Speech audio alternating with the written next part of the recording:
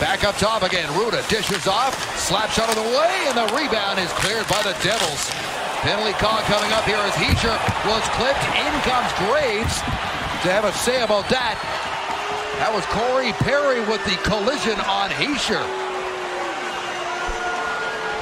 Corey Perry having a big time argument with the referee, but the New Jersey Devils didn't like that hit.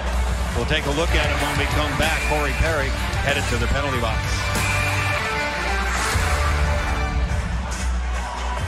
Penalty to Perry for illegal check to the head. Uh, barely a glancing blow. It's not an elbow, bottom of your screen. He cuts him off and his shoulder swipes him, but because he's bent over, watch how bent over he is. He's looking at the puck. He's not looking at the player. Tries to pull up at the last second. Corey Perry is going for the puck, so he's not hunting him.